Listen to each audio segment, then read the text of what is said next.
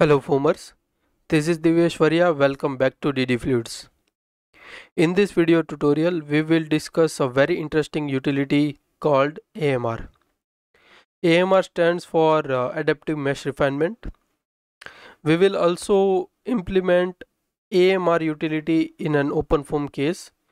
So the case will be a multi-phase problem with the VOF method. So let's begin.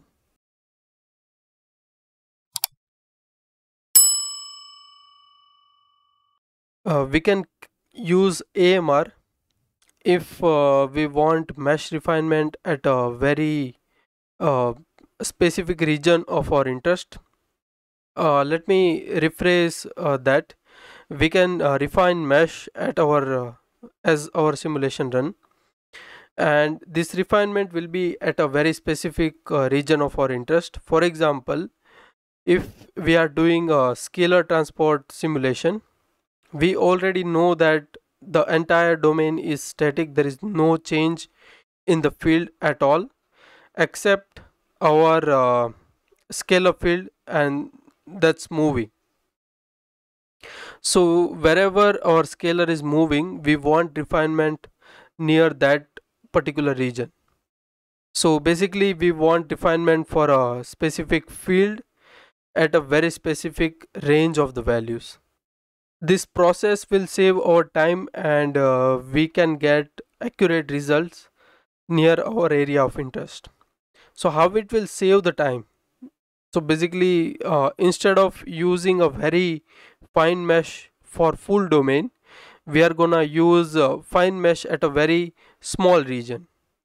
So number of cell will be reduced and uh, our equation uh, will generate results faster and load on our system processor will be also less.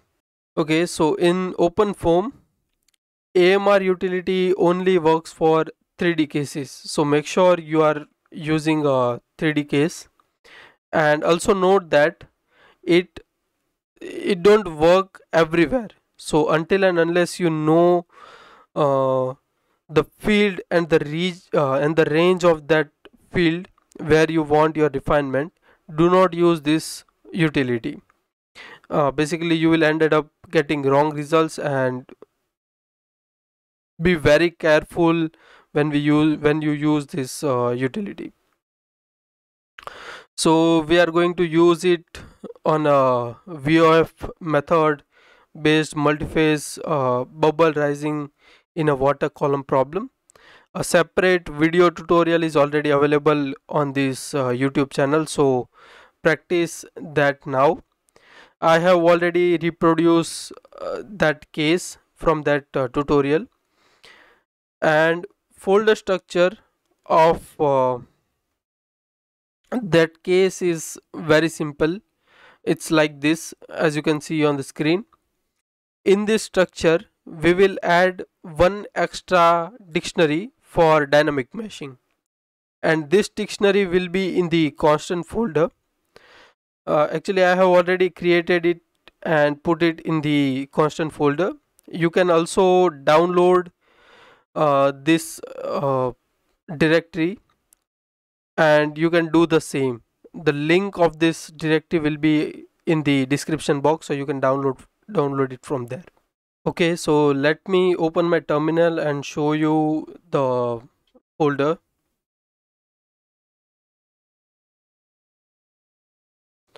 So in my terminal I'll go into my run folder. And in my run folder as you can see I have already created this AMR bubble rising folder or case. I'll go there so here as you can see zero constant and system folders are available. Now into the uh, constant folder. As you can see with all the other uh, files I have dynamic mesh dict. So when you download dynamic mesh dict file from description you need to paste it into the constant folder inside this constant folder okay so let me clear the terminal and let me execute the commands for the meshing and setting up the fields. First I'll type block mesh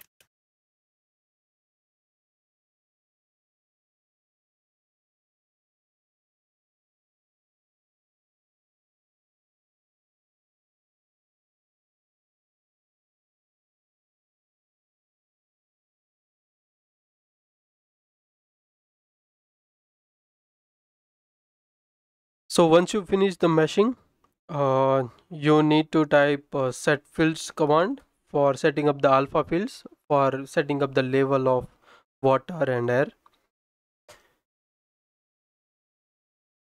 Okay, so let me open this uh, case in ParaView and let me show you the problem statement.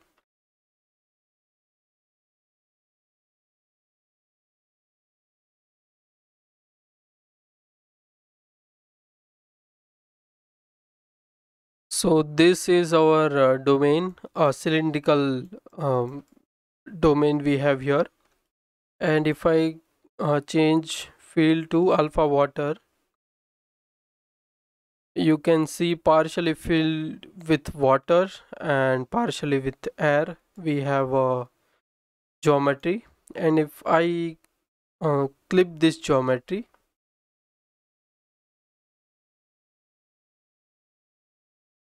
uh, we can see inside our uh, domain we have one more uh, spherical uh, air bubble and this will rise uh, when we run the simulation. So till now we haven't run any uh, equations. We we just finished setting up the fields.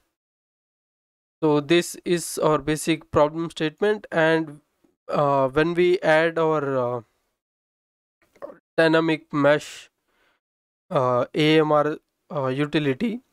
It will refine the interface of this bubble and this uh, separating interface. So let me show you the uh, structure of the mesh. So as you can see it's very coarse mesh and that's why we are getting uh, very diffused uh, results here. Let me show you the exact results. Okay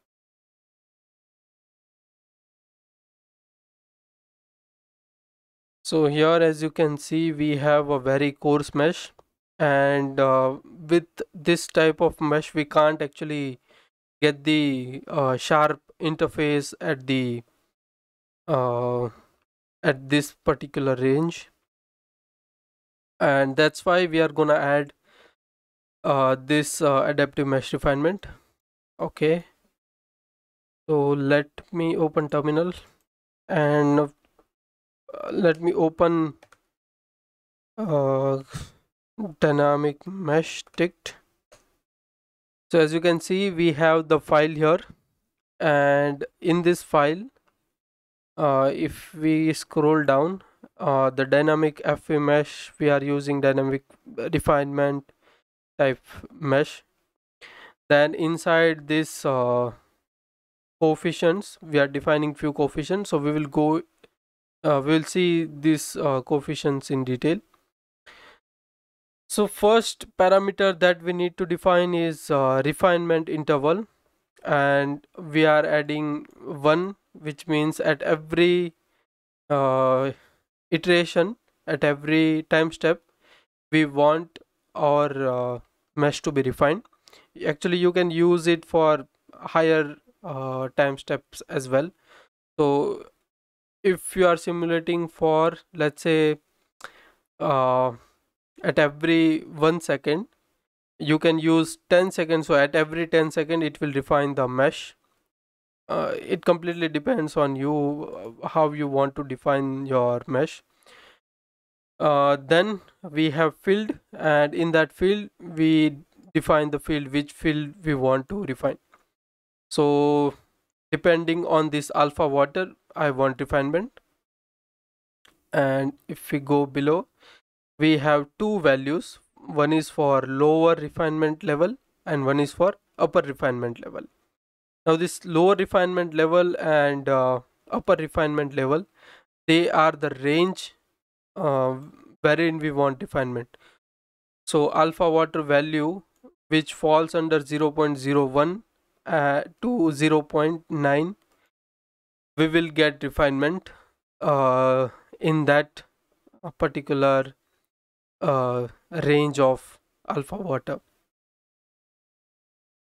Uh, now after that we set unrefinement uh, level uh, where we want unrefinement. So I am using 10 it depends on you how you want to uh, change these values then uh, there are some few more parameters uh, and buffer layers how many buffer layers you want for the refinement.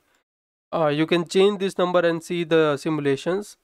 You will get different uh, different types of refinement at when you change the parameters. Then we have refine maximum refinement. And here we we give how many levels of refinement we want. So when we give two it will split our uh, mesh into two cells. So that's that's basically a level that you set. If you go for higher level you will see better refinement. And if you go for one i don't think with one you will get any refinement. But yeah uh, you can use two or more than two as well. Then we give uh, maximum cells. Uh, uh, how much refinement you want to add. So uh, basically when you reach to this point this value point uh, it will stop refining. So that's maximum cells. And after that we have flux field that we need to define correct flux field. So this is basically for the uh, velocity uh, if you are giving some velocity refinement and uh, there is some change in the flux at the at the phase in that case you need to change these values. But here we have a scalar field alpha water. So we don't really need to uh, define anything but yeah these values should be here. We cannot delete these values. They are required. Uh, but the the value we are giving here for all the uh, fields are none. So there is no uh, reinterpolation uh, for the fluxes. Then uh, we have dump level and that's for writing the refinement level as a scalar field when we run the simulation. Uh, whether you want to write this scalar field in your uh, with your case file.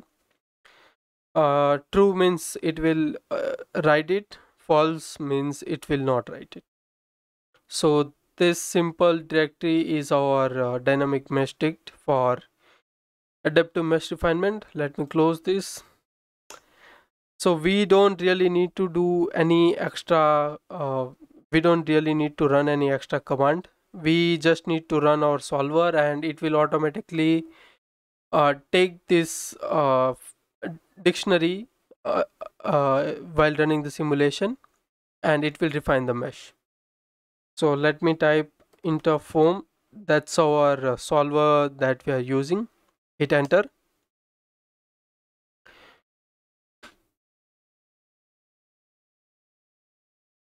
So yeah it started running.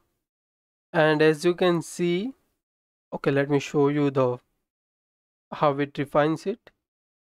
So initially delta t is very small. And at the first iteration it selected 452 cells for the refinement out of uh, 3200 uh, cells. So we have 3200 cells initially. And it uh, calculates that uh, this many cells uh, requires refinement.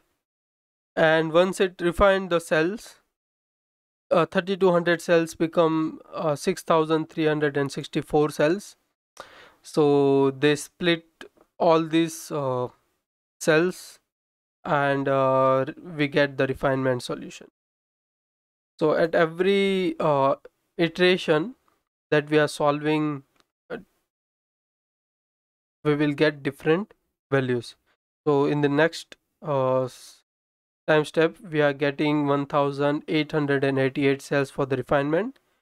And at the end we get 19580 cells so this are the uh, uh, this is how it defines the uh, mesh. And let me uh, it will take some time to run the simulation. Meanwhile let me show you uh, the mesh. So let's refresh it. And let's go to next time step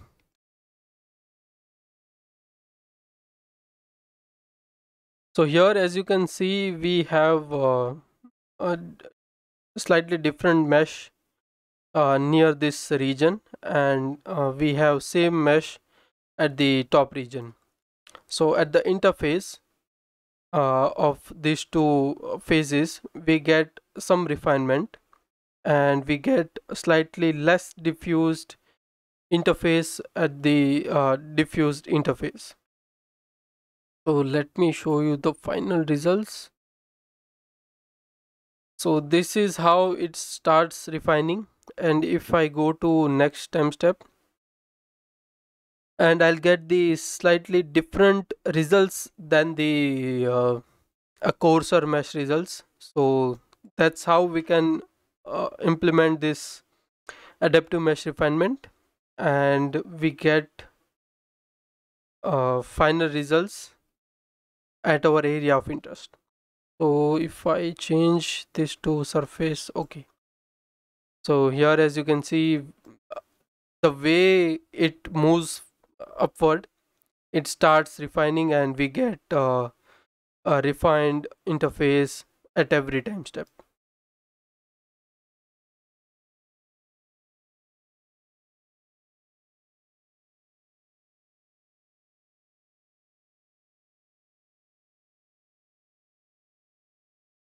So uh, as you can see on the screen, I have three different uh, uh, results. In the first case, I, I have simulated the same case with a coarser mesh without uh, AMR and as you can see we got a, a very coarse results. In the second result, I have uh, added dynamic uh, AMR directory and I got a slightly better result. And in the third case I have used uh, double refinement inside whole uh, domain and I have removed the AMR so the third case is without AMR and with a very finer mesh. And the time difference uh, how much time it took to uh, simulate the results you can see on the screen and you can judge the benefit of uh, AMR.